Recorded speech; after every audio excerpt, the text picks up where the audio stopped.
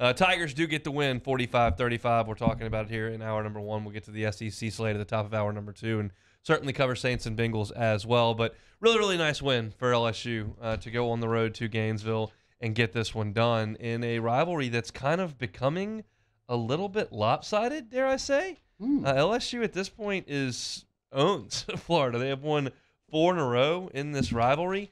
Um, they have now won five of six in this rivalry. They have now won six of nine. They have won eleven of sixteen.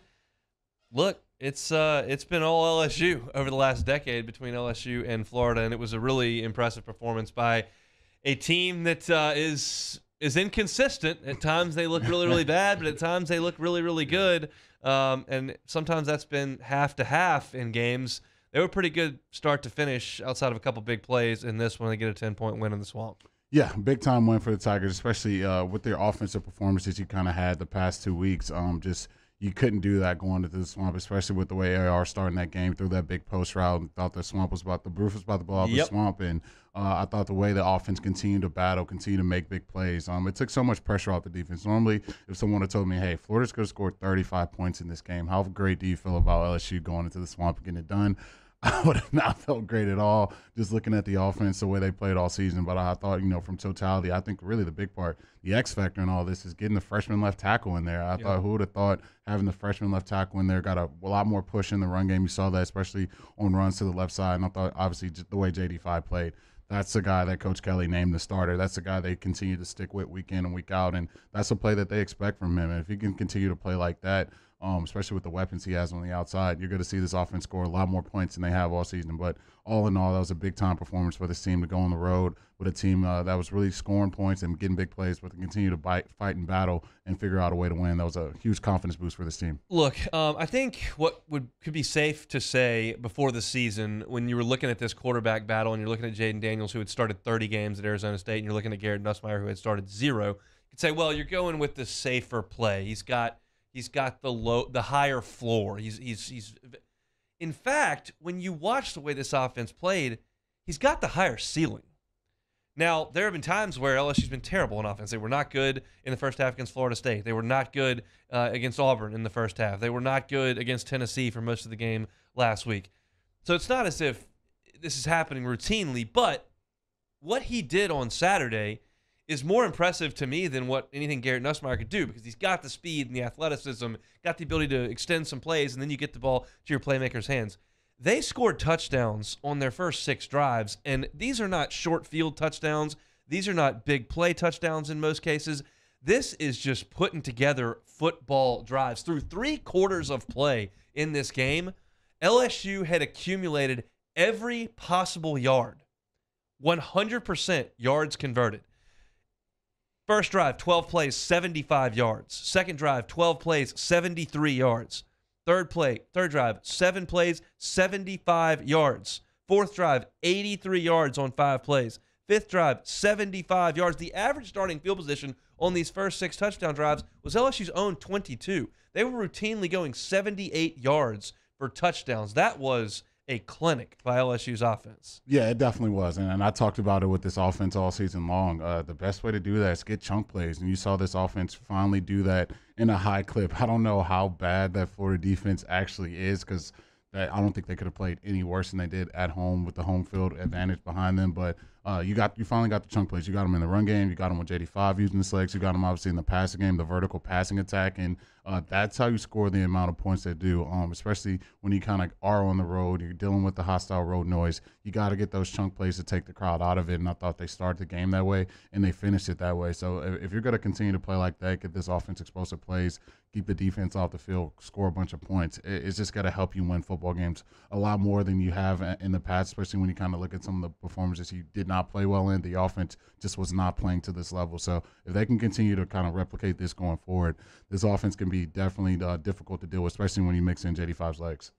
Yeah, and they were just so good on third down. They were they converted eight of their first nine third downs, and the one they didn't convert was the 14 yard pass to Kayshon, which they spotted at the 13, a yard short. They went for the fourth down and got it. I thought it was a bad spot. I thought he caught the ball a yard and a half past the sticks on that one. So even the one they didn't convert, I think they actually did convert it. Um, so just uh, awesome, awesome work. And they weren't even that short of third downs for the night. They averaged 7.5 yards on uh, for a third down attempt, and they were converting at an unbelievable clip. They ended up eight of 12 in the game. So um, just uh, an awesome job by the offensive line, an awesome job by Jayden Daniels. Um, it's a Florida defense that's got its issues, sure, but LSU showed what it can be on offense. I just think um, it's. I think there are probably going to be some struggles at some point moving forward. I don't think there's something that's that's clicked and you've just got it. But w- what we knew is that they have playmakers. There are guys on the outside that can make plays. Jayden Daniels allowed them to do that for the first time, really all year. He completed five of his eight passes that were more than 15 yards in the air. Five of eight in this game. Previous to this game, he was four of 24 on those throws against Power Five teams.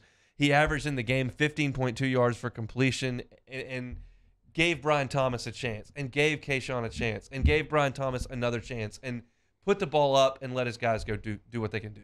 Yeah, hundred percent. I've been calling for it all season. Uh, you got guys on the outside who haven't fallen off a cliff. They don't just think. I know everyone keeps mentioning these drops, but receivers are all about rhythm and confidence. If you give those guys confidence that you're going to give them chances, even the one they said BTJ dropped, I don't know what more you got to do to show that's a catch. It seems like he controlled it all the way down, pulled it up, pointed the ball forward. But even without that big time catch, those guys were going down the field making plays, one on one coverage. Our boy Jaray, you know, doesn't get enough love. Throw that ball deep to Jaray. He's down the sideline. Next thing you know, he's in the little end push off. We'll take it. I ain't mad at they it. Don't, they don't call that. They don't uh-huh. call that. You got to really, really like flop for them to call that. So it's a little hand fighting. On boy Jaray knows how to do that. Veteran player on this team. But yeah, I thought Jayden giving those guys the confidence said, look, you guys run these routes down the field. I'm going to give you a chance to make plays, and, and, you saw them do that. And interesting, the guy that everyone said quit on the team, didn't want to yeah. be here around, looked like he kind of showed up to play to me. I don't know. I'm not the brightest of guys in the bunch, but looked like seven made some plays to me. I don't know. He did six catches, 115 yards in the game for Kayshon, and I thought was really engaged, celebrating with his teammates, and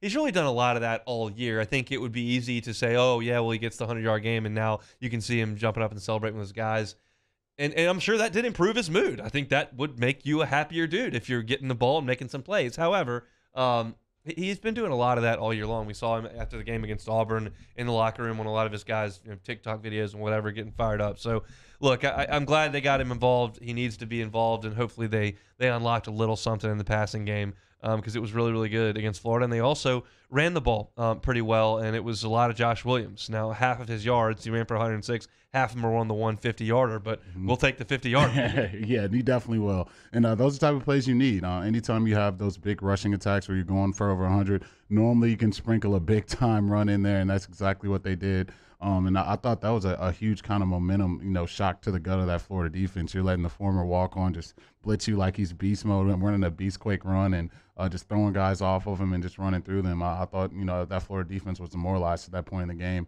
There just there's nothing they could have done to stop the game uh, stop that run game, and then you mix Jayden using his legs in there. He, he, you can see why they fell in love with that. But I, I thought for Josh, you can see kind of why this coaching staff continues to stick with him, continues to give him the carries that he's getting because he runs extremely hard. And when you're tired of tackling someone, that's probably the last guy you want to be seeing on the second uh, second level with a forward team.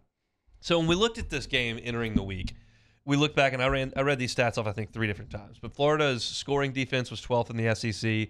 Their total defense was 12th in the SEC. Their rush defense was 13th in the SEC. Their pass defense was 11th in the SEC. They're towards the bottom every statistical category you can come up with in the Southeastern Conference.